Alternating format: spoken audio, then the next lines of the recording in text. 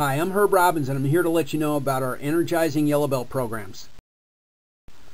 The training is divided into three different days, which can be done individually, over time, or three days in a row. Some folks opt only to attend one day.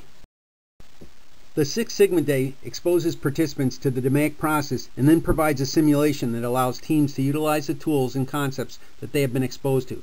Participants understand the basics of Six Sigma methodology as well as the program and a number of associated tools. The Lean Day uses either a business or hospital simulation that places each participant into a specific role. The entire class, through several rounds of the simulation, is tasked with identifying and eliminating as many of the inefficiencies as possible. Participants leave energized and ready to implement Lean.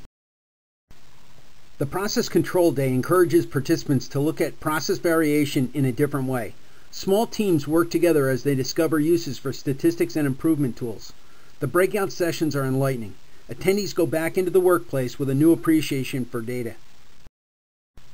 Benefits run from personal to company wide.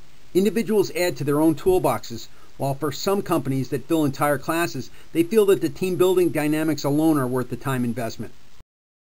The Yellow Belt program is set up so that anyone in an organization can benefit. These tools easily cross department and industry boundaries and are needed as much in the boardroom as they are on the business or hospital floor. Testimonials can be found on our website. When we speak to people afterwards and find out that they've implemented enhancements within days of their training, well, that speaks volumes. The decision is yours. Complete all three days or attend any single day to gain valuable knowledge in a dynamic, energizing format.